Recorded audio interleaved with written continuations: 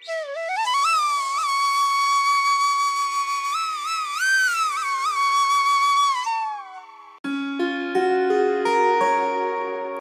Everyone कैसे हैं आप सभी? आशा करती हूँ आप सभी अच्छे होंगे। Welcome back to my new blog तो आज है संडे और संडे होता है सबका बिज़ी डे इसलिए मेरा भी आज सुबह से बिज़ी डे चल रहा था।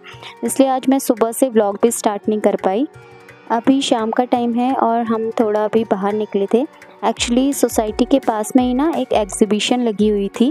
काफ़ी अच्छी थी तो हमने सोचा कि वहाँ पर जाकर देखा जाए।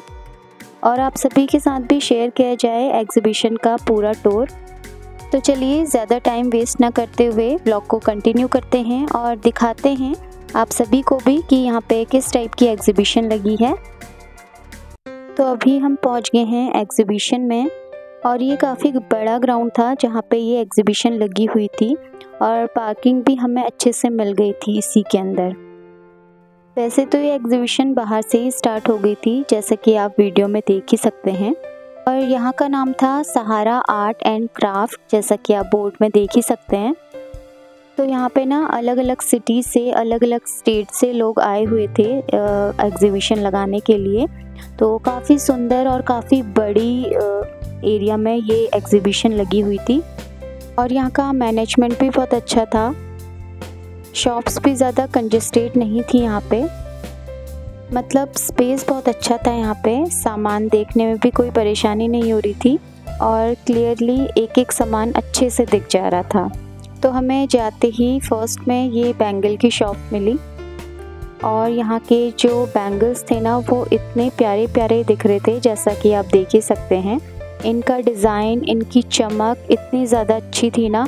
और हमने उनसे पूछा भी कि टाइम के अकॉर्डिंग इसकी शाइन जाएगी तो नहीं। उन्होंने बताया कि आप बेफिक्र होके इसे लेके जाइए। इसकी शाइन लाइफ टाइम तक ऐसी ही रहेगी। और अगर आप पानी में भी हाथ डालते हो तो बिल्कुल भी इसकी शाइन नहीं जाएगी। फिर हमें यहाँ पे एक दो बैंगल पसंद भी आ गए थे तो हमने फिर वो परचेज़ कर लिए।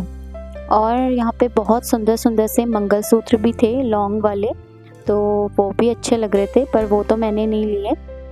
और इसके लिए भी वो सेम यही बात बोल रहे थे कि ना तो इसका नग गिरेगा और ना ही इसकी शाइन जाएगी।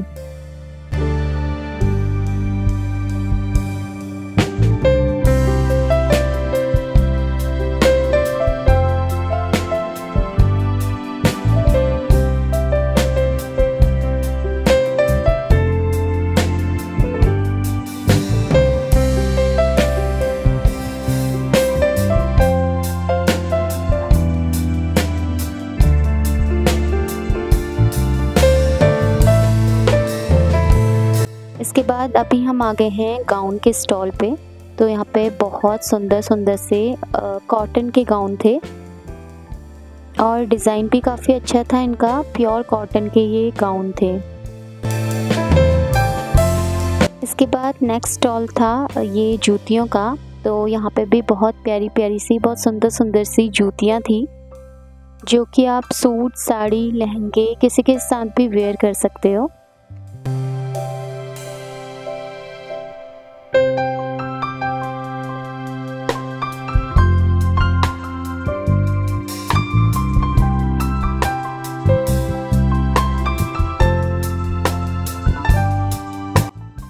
इसके बाद जो शॉप थी, वो थी इयर की और यहाँ पे प्योर सिल्वर के इयर थे।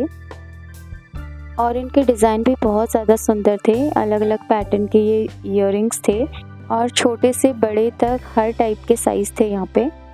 और यहाँ पे मुझे एक इयर बहुत ज़्यादा पसंद आया तो वो मैंने परचेस कर लिया था।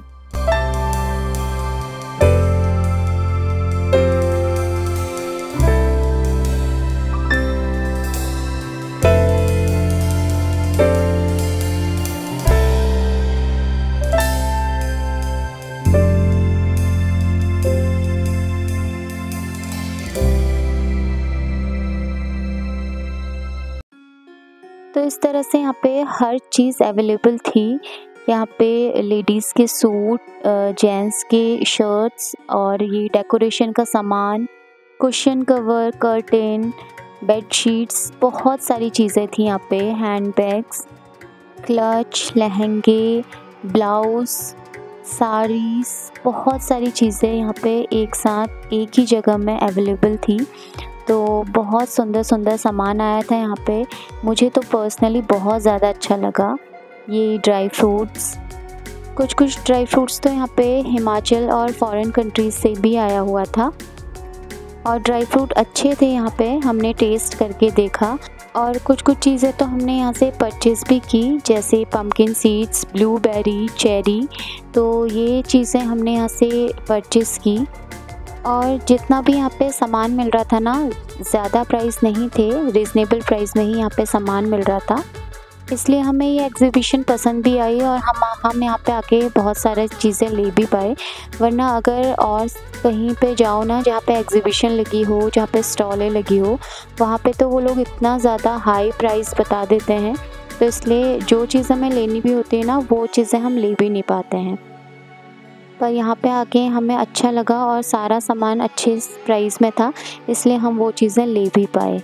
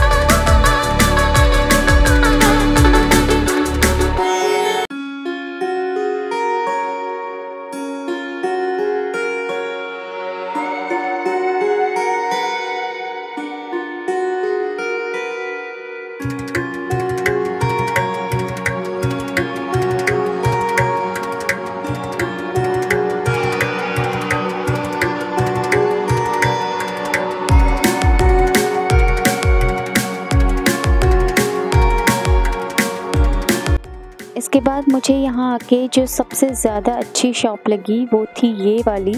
यहाँ पे वुडन का ही सामान रखा हुआ था।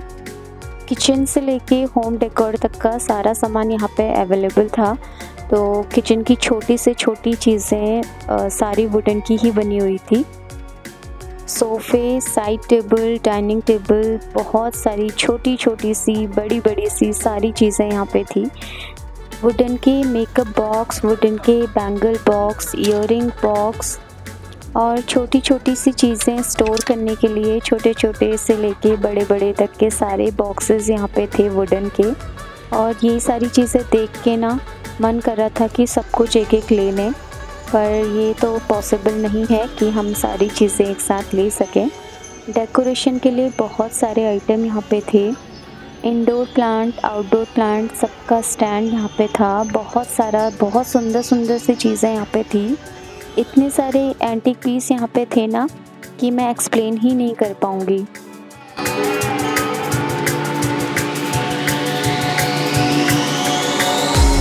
तो कैसी लगी आप सभी को ये एग्ज़िबिशन कमेंट में ज़रूर बताइएगा।